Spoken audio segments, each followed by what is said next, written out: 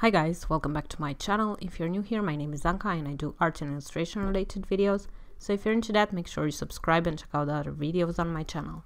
So in today's video, I'm doing another air dry clay project. I wanted to do a kind of trinket tray, but particularly for my perfumes. And I will be using the tools you are seeing on the screen to achieve that. The tools are from iMagic Fly. Uh, they kindly send this their set to me and you can find this kind of these kinds of tools in art and hobby shops. So I will list everything in the description box below. And for the air dry clay I am using my favorite air dry clay which is the Darby one. Uh, I usually use the white one but this time I could only find the terracotta one. It worked just as fine. It just is a bit messier since it is so colored. So to start off I uh, rolled out my clay using the rolling pin. I tried to do a rectangular shape. I didn't really measure anything out. I just kind of eyeballed it and then I cut out the sides of the tray or I don't know how you would call them, the ridges and I'm kind of eyeballed those as well. The hardest part of this process is getting the sides to stick to the bottom of the tray uh, and for doing that, I used a scoring tool. So basically scoring is creating ridges in your clay. And then I added some water and with the spatula, I tried to attach the two pieces together. Now this is a pretty difficult process and it does take quite a while until you get the clay smooth. I used uh, the silicone uh, tool as well to getting everything smooth and yeah it's just a lot of fiddling around with the clay and trying to perfect it i don't really have too much experience with binding two pieces of clay together so this was basically the first time i did it and it was successful I do have other videos with clay projects. Uh, some of them I uh, included some of my failed attempts to create something like this and I will link uh, these videos somewhere in the description as well if you're interested in that. So I would recommend you use a lot of water when trying to stick the two pieces of clay together. That really helps. And also you can uh, do a kind of clay and water mixture if you have any holes you like to cover up or if you want to repair your clay afterwards. This acts like sort of a repair glue and uh, yeah it worked really well especially for the bottom. After it was dry I did add a bit of that clay and water mixture on the bottom to make everything nice and smooth. So as you can see this process took me quite a long time. Uh, it, it is really messy but I personally really enjoy working with clay.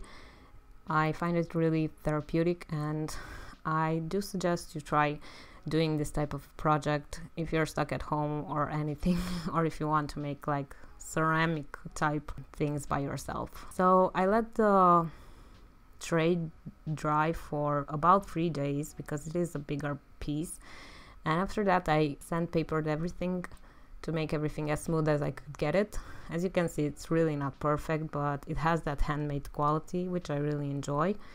Please do wear a mask when you sandpaper everything, dust gets everywhere and you don't want that to get in your lungs. And after sandpapering, I go over the tray once again with a wet sponge just to get off all the excess dust that remained from the sandpaper and now it's ready for painting so for painting I used for the first time acrylic paint uh, I usually use gouache, but I decided to go with acrylic paint for the base because it was a pretty large area to cover and I didn't want to use all my gouache paints. You could do it entirely in acrylic paints, it's up to you. And I also use these paint pens from Artistro, which are really nice for adding details and highlights. So for the base I used a mixture of red, blue, a bit of green and to obtain sort of an indigo color. The bottom I painted it in this indigo color and the inside of the tray I wanted to do something lighter so I can add some botanical elements on top. I also decided to paint the rim of the tray in red. Uh, I thought that would be a pretty cool contrast with the bottom of the tray and the outside of the tray as well. So I usually like like to mix all my colors. I don't like to get them straight from the tube. And I wouldn't be able to tell you or to link a particular color in the description box.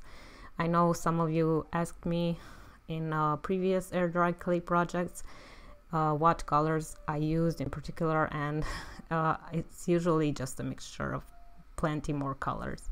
So as you can see here I am painting the rim um, of the tray in red.